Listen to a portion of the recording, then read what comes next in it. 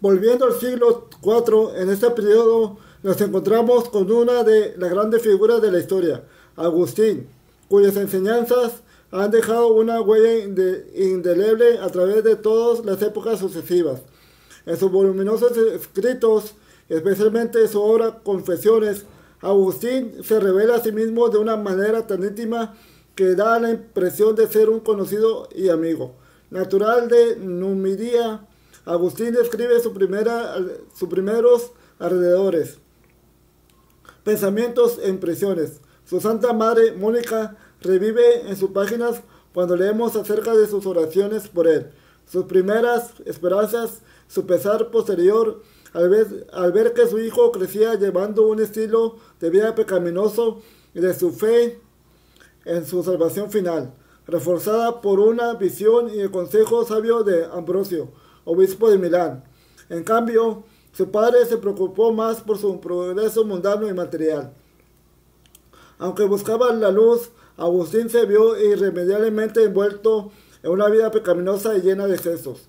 Por un tiempo pensó que había encontrado liberación en el maniqueísmo, pero pronto se dio cuenta de su incoherencia y debilidad. La predicación de Ambrosio influyó en su vida, pero aún así no encontraba la paz que buscaba. Cuando tenía 32 años de edad y trabajaba como profesor de retórica en Milán, ya había llegado a un estado desesperado de angustia. Sus propias palabras nos describen lo que sucedió después. Me dejé caer, no sé cómo, bajo una higuera y le di rienda suelta a mis lágrimas. Pronuncié esas tristes palabras. ¿Cuánto tiempo? ¿Cuánto tiempo?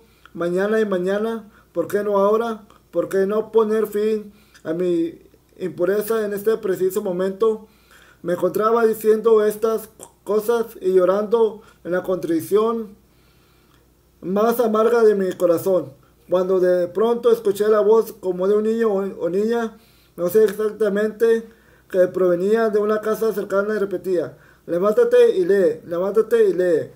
Mi semblante cambió de inmediato y comencé a considerar, más seriamente si era normal que los niños cantaran aquellas palabras en algún tipo de juego, pues no recordaba haberle escuchado antes.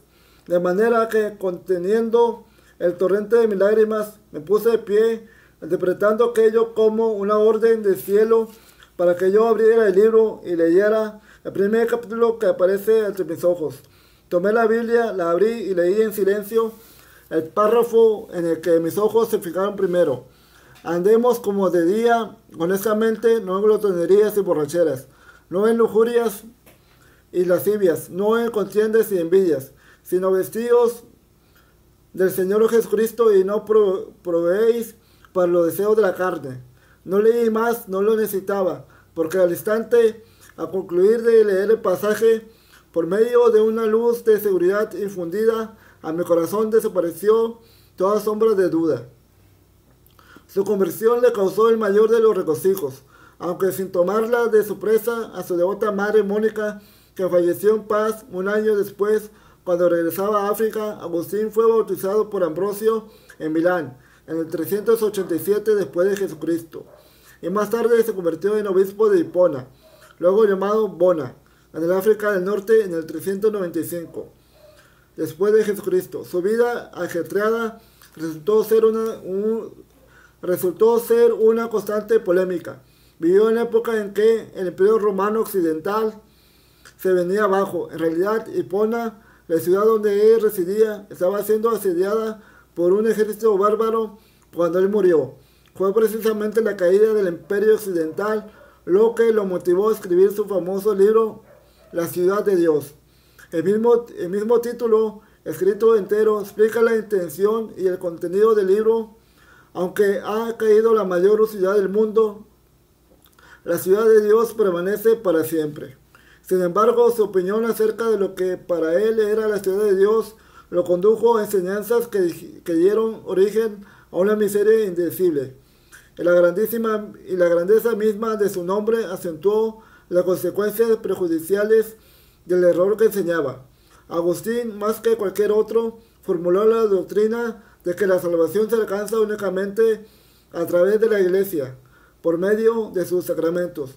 Tomar la salvación de mano del, Salvador y ponerla en mano de los hombres e interponer un sistema concebido por el hombre entre el Salvador y el pecador es precisamente lo opuesto de la revelación del Evangelio. Cristo dice, venid a mí, y ningún sacerdote o iglesia tiene la autoridad para inferir en ello.